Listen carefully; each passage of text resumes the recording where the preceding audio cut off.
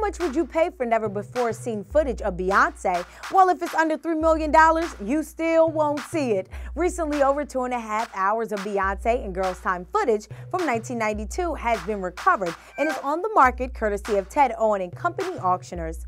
They allegedly have 12 tapes that have been tucked away for over 20 years of Beyonce. Now, the tapes feature unedited footage of the singer at the Record Planet recording studio in California working on her hot dance moves for her first professional music video. Also, there's bits where she's trying on glasses in the mall and making poses behind this like really weird, creepy hand.